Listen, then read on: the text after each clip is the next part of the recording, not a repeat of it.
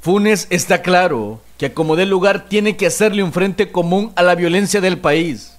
Y en sus planes no importa si son militares o civiles los que tomen las riendas de la seguridad de los salvadoreños. Pero mientras los FMLNistas critican estos cambios, hay otros que dan el visto bueno. No, yo lo que percibo es que el presidente ya descubrió de que una cosa es querer hacer las cosas y otra cosa es poderlas hacer. Eh, todos los funcionarios eh, que entran al gobierno son funcionarios con buena voluntad, pero muchas veces si tú no aprendiste a nadar y te tiras a una piscina te ahogas. Entonces muchos han querido nadar sin saber, eh, tirarse a la piscina y sin saber nadar.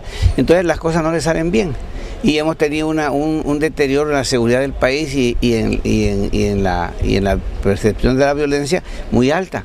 Y yo siento que lo que ha hecho el presidente es, es responderle al implemento de la, de la inseguridad en el país, buscando una solución más práctica.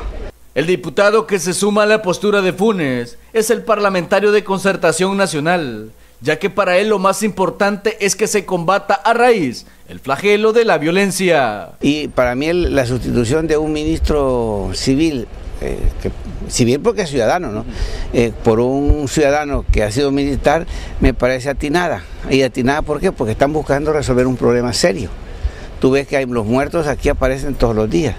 Y no es porque sea el ministro sea un civil o sea un militar, no es porque la violencia está ahí. Entonces hay que, hay que combatir la violencia de una manera distinta a la forma como se ha tratado el, tema en los últimos días. O sea, yo no, yo no, la militarización no es sinónimo de que sea militar, ¿no? La militarización puede ser por la forma como se trabaja con, con, con la gente.